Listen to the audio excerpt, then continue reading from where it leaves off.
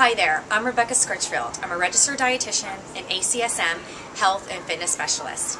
And I wanted to talk a little bit about my private practice and what you can expect if you decide to become a client. And I really hope you do. So everyone starts with me with a nutrition assessment. It's two visits. They're about one to two weeks apart. When you confirm an appointment, what you're going to do is you're going to get new client forms by email. You're going to fill those out, bring them in, and basically we're just going to have a conversation. We're going to talk about your goals, um, long-term and short-term. We're going to take a look at your life because I believe that we need to see where you're at right now and start there with our behavior changes. So together in this session, we are going to set goals that you feel are realistic and achievable.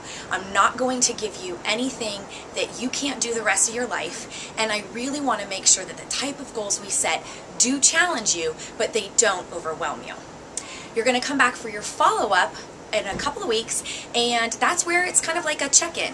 What did you try? What worked? What didn't work? What is, what is still challenging you? We're going to set a new set of goals, and by the end of that session, you're really going to have a good idea of where you're at right now, what it's going to take to reach your goals, some of your biggest barriers that are standing in your way, and you'll have a roadmap on things that you can do immediately in order to get there.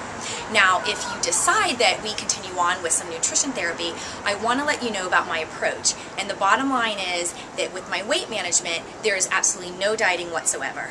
The reality of it is, is that diets do not work. And in fact, they can lead to things like overeating and obsessions with food.